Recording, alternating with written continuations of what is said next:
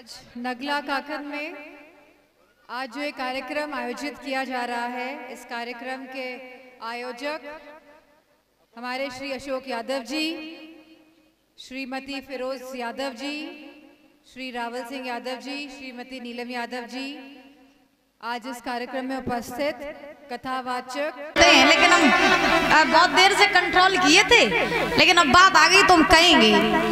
इस गाँव में हमने ये देखा कि आ, कुछ लोग होंगे अब जो बैठे होंगे वो समझ लेंगे। आ, किसी ने कहा होगा जा करके कि शास्त्री जी आ, क्या ही कहें कहने में भी शर्म आती है। जो समझदार बैठे हुए हैं, अगर आए हुए हैं, जिनने कही हुई है जवाब तो मालूम पड़ी है हम माइक से नहीं कहना चाहते थे, लेकिन बात आ गई तो कहेंगे, क्योंकि इंसान जो महाराज किसी से बोलता भी नहीं है। अच्छा ईमानदारी से बताओ हमें चार दिन हो गए यहाँ आए, मैंने अभी तक किसी को, किसी से बात की? मंच से करके आने के बाद। किसी से बात की? या हम जहाँ रहते हैं, वहाँ कोई मेरे पास गया अभी तक? बोला? फिर भी बातें बना लेते हो। थोड़ी शर्म कर लो। समझ रहे हो? आए हुए अतिथि का ऐसे सम्मान नहीं किया जाता जैसे आप लोग करते हो। जो बात हम कहते भी नहीं है, तुम उसका ही बात को बतंगड़ बना लेती हो। बात को ओपन नहीं करना चाहते थे। लेकिन हमने कहा, चलो, सबक मिल जाएगा कि आए हुए मेहमान का सम्मान कैसे करते हैं? अपने मुँह से बातें बनाने से कुछ नहीं होता है। के प्यारी लाल की। तो सुखदेव जी महाराज ने राजा परीक्षित से कहा कि हम तुम्हें ज़रूर बताएँगे हरिश्चंद्र का जीवन चरित्र कैसा रहा। तो महाराज राजा हरिश्चंद्र जो हैं, अवध के राजा हैं, सूर्यवंशी राजा हैं, और बड़े अच्छे राजा हैं। इनके घर में पत्नी है, जिसका नाम है तारा। हरिश्चंद्र के पुत्र है, जिसका नाम है रोहितास। तो महाराज, हरिश्चंद्र जो बड़े अच्छे राजा हैं। इनके घर में किसी चीज़ की कमी नहीं है। धन, दौलत, राज पाठ सब कुछ है। काउ चीज़ की कमी नहीं है। लेकिन महाराज बड़े सत्यवादी राजा हैं, हरिश्चंद्र। बड़े दानवीर राजा हैं। उनके द्वार पर जो कोई आता है, वो खाली हाथ नहीं जाता है। बड़े अच्छे राजा। एक बार इंद्र की सभा लगी रहे तो इंद्र की सभा में महाराज सारे आ, देवी देवता बैठे रहे और इंद्र की सभा में आ, गुरु वशिष्ठ जी और गुरु विश्वामित्र जी बैठे रहे। तो आपस में दोनों की चर्चा होने लगी वार्ता छिड़ गई। और जब आपस में दोनों संतों की वार्ता छिड़ी दादा वशिष्ठ जी ने सूर्यवंशियों के गुरु हैं वशिष्ठ जी और चंद्रवंशियों के गुरु हैं गर्गाचार्य जी। तो वशिष्ठ जी ने उस सभा में विश्वामित्र जी से कह दिया कि इस सभा में बने चाहे कोई, लेकिन मेरा शिष्य जो हरिश्चंद्र है, उसके जैसा राजा न तो कोई हुआ, न तो कोई होगा। अच्छा अच्छा व्यक्ति जो होता है, जिसका आचरण अच्छा होता है, जिसका चरित्र अच्छा होता है, उस व्यक्ति की हमेशा प्रशंसा होती है। हमेशा प्रशंसा होती है। लेकिन कुछ लोग ऐसे होते हैं जो महाराज अच्छा भी होता है, उसे भी बुराई बना देते हैं। ऐसे लोग होते हैं और आज, खैर, आज की दुनिया में ये ज़्यादा हो रहा है। किसी से भी बात भी ना करो और कुछ कहो भी ना, और फिर भी महाराज बातें बन जाती हैं। अब भैया, हम तो सात दिन काटने आए हैं आपके गाँव में। हम आपकी खेती बाड़ी तो लेकर के चले नहीं जाएँगे सात दिन बाद। बताओ भैया। और हम तो हमेशा चार दिन हो गए आए मुझे। कथा कहते कहते हम तो आपको अपनी माँ समझते हैं। को अपना बहन अपनी बहन समझते हैं। बताओ और फिर भी आप लोग ऐसे करते हो? सात चार दिन हो गए हमने हंस के कथा सुनाई कि नहीं सुनाई? है? ऐसी हमने कोई बात कही जो आप लोगों को बुरी लगी हो? हमने अपनी तरफ़ से आपको पूरी हंसाने की कोशिश की लेकिन फिर भी आप ये अच्छा नहीं होता है। सात दिन का परदेसी पता नहीं फिर ज़िंदगी में कभी मिले ना मिले। हैं? कोई मालूम नहीं है फिर भी ये बातें अच्छी नहीं होती है। खैर, कोई बात नहीं। तो हरिश्चंद्र ने बड़े अच्छे राजा थे तो वशिष्ठ जी ने विश्वामित्र जी से कह दिया कि यहाँ बने चाहे कोई, लेकिन मेरा शिष्य जो हरिश्चंद्र है, उसके जैसा राजा न तो कोई हुआ और न तो कोई होगा।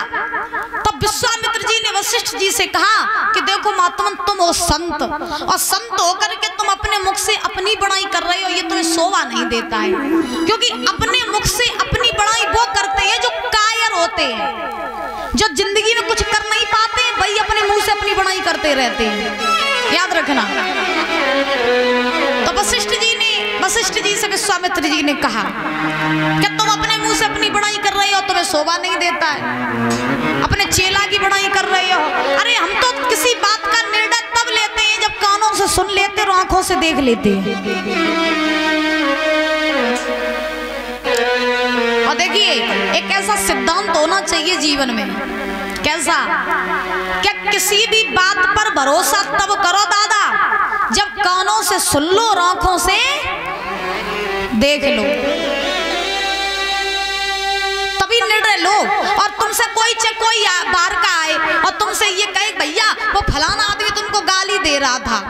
कोई भी व्यक्ति बना रहे अब वो तुमसे कहे कि, भैया, फलाना आदमी तुमको गाली दे रहा था।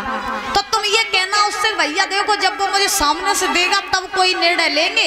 अभी मैंने देखा तो है नहीं कि वो देता भी है या नहीं भी देता है क्योंकि बहुत से लोग ऐसे होते हैं जो महाराज ना लड़ाई हो भी लड़ाई करवा देते झूठ कह के। ऐसा लोगों का स्वभाव बन गया है। हाँ, जहाँ लड़ाई ना हो भी लड़ाई हो जाती है। क्या कहती हो?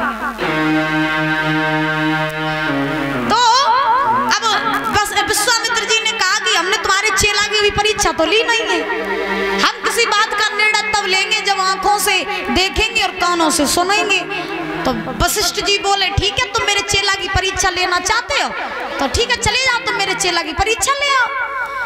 तो विश्वामित्र को आज्ञा मिली तो विश्वामित्र चले।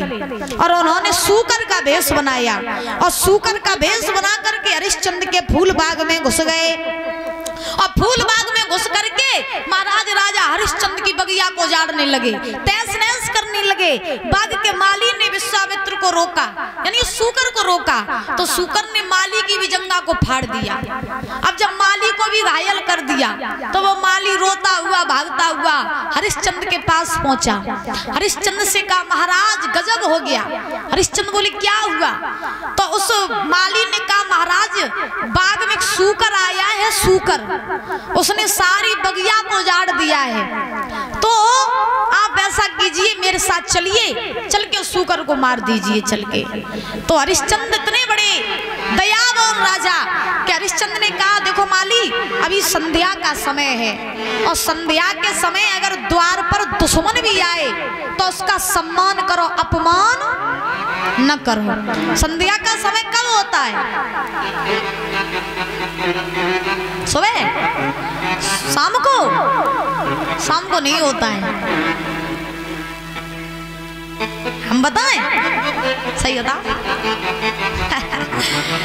संध्या का समय वो होता है, आपने देखा हो कि जब सूर्य डूबने वाले होते हैं, कभी देखना, कल देखना गौर से, जब सूर्य डूबने वाले होते हैं तो जब सूर्य डूबते हैं तो आकाश में लाल अपनी रोशनी छोड़ते हैं, डूबते नहीं लाल रोशनी छोड़ते हैं। यानी सांप होने से एक घंटे पहले का जो समय होता है, उसको कहते हैं संध्या का समय।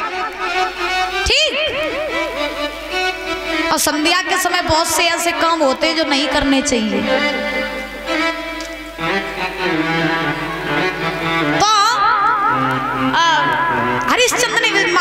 माली से कहा, भैया माली, अभी संध्या का समय है और संध्या के समय अगर दरवाजे पर दुश्मन भी आए तो उसका भी सम्मान करो, अपमान न करो। मेरी बात सुनो। अरे संध्या को समय और दुख मत दीजे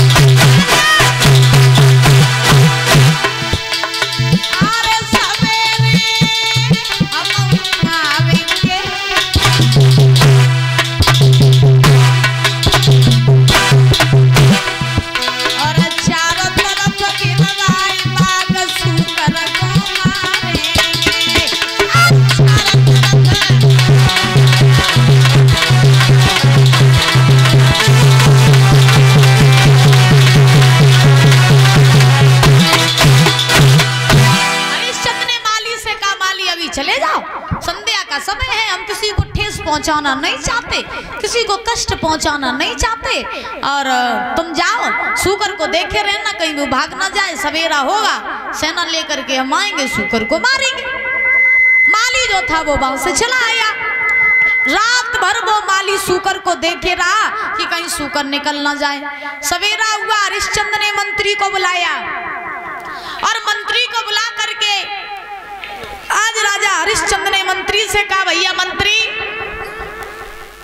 कहे, तुम बजाइयो का अरे, तुम बजाइयो। महाराज आज श्री सुखदेव जी समझा रहे हैं कि हे राजन परीक्षित राजा हरिश्चंद्र ने मंत्री को बुलाया।